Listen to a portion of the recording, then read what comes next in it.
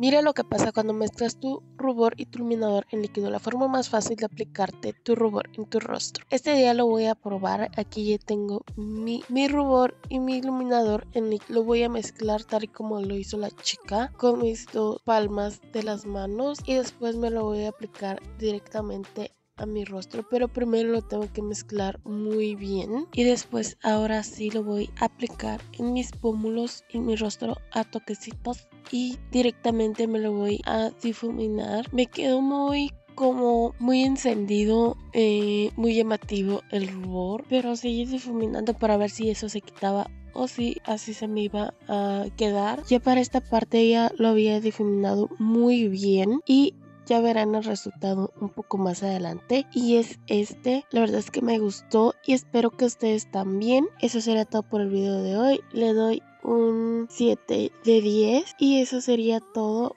bye te invito a que te suscribas a mi canal y activar la campanita de notificación de esta forma, seleccionando todas para que no te pierdas ninguno de mis videos. Gracias por estar aquí. Te cuidas mucho, te portas bien y que tengas un excelente día.